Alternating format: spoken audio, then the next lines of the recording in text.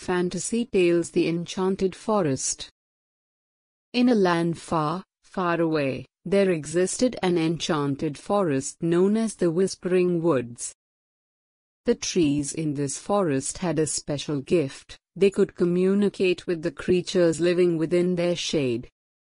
One day, a curious young girl named Elara ventured into the Whispering Woods. As she stepped under the towering trees, their leaves rustled softly, and they shared their ancient wisdom with her. Elara learned about the balance of nature, the importance of taking only what one needs, and the value of listening to the world around her. She left the forest with a heart full of wonder and a newfound respect for the natural world.